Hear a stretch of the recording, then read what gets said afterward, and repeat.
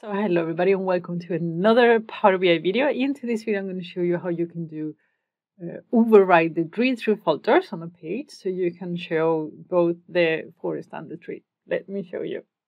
Okay, so as you can see on this page, the category names available are all of, the, all of these. Uh, I have a filter by the category name condiments and I can still see all of them. And this is a great way to compare one against the others on a drill through page. So how did I do it? Let me show you. Okay, so we're going to build it on this report. I have here the first page. I'm going to pick, I don't know, beverages, dairy products. Why not? Uh, drill through details. It filters by that. You can see here, I have turn off keep all filter. So we just manage one. You can manage more if you want to. It's the same technique. And as you can see, I have here sales accumulated by month, right?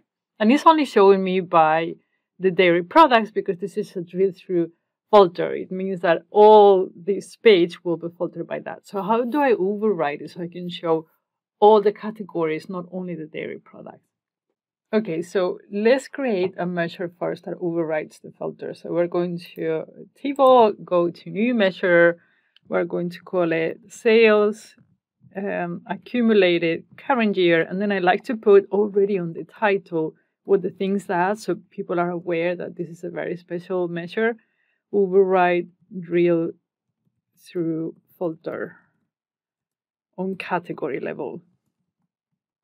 You could actually add a comment, which you should, but to avoid making the video so long, calculate.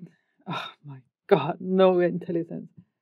Either is it there annoys me or is not there at all. So sales current year accumulated and then we're going to do all so we're going to override the can you please? So annoying. Where is it? Sales and then here i'm going to thank you very much. Do all and then category name. So we're going to say okay override the category filter that has been applied to this measure. Now, if you're now going in here and you change that, you're going to see that nothing happens. We still have problems. Why? Because the filter is being applied to the category table. And that has not changed. So what we need to do is we need to go back to the model and we're going to grab from the categories table two columns, the category name because we need it, and then the category ID because that's the one that is connected to the product ID. I'll show you to the product table. So we need these two tables. So we go to new sources, blank query. And then I'm going to call this, uh, we're going to base it on categories. And then I need two columns. if you put the double square, you will convert it to a table directly. So we need category name and then we need the um, category ID. I don't remember if it's a space or not, but we will find out soon enough. Yeah, okay. So, and then you give it a name to the table, override filters. I would like to have like super weird names so people are aware that, hey, something's going on in here. This is probably a hack. Close and apply. And now you need to be mindful about the relationships that are created. If you have the uh, relationship thing on, you know, that to create automatic relationships, um, I think it's on at the moment. So you need to be mindful of that. And it is on. So here we have the new table. What you need to do is to change these relationships. I don't want to connect category name with category. I want to connect it directly to product. So if I go to the product table, and connect these two. Go back here.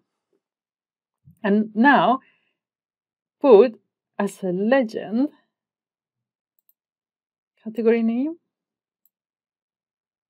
And voila, there we have them. Now, what I'd like to do too is move this special measure to my new weird override filters table and then hide everything. So here I will go and hide because people shouldn't need that. But now you can see that I have all the colors and all the categories, even though this is a through page. Now, to create the effect that I did with, you know, the gray and the, let me show you. To create these, I already have a video about it.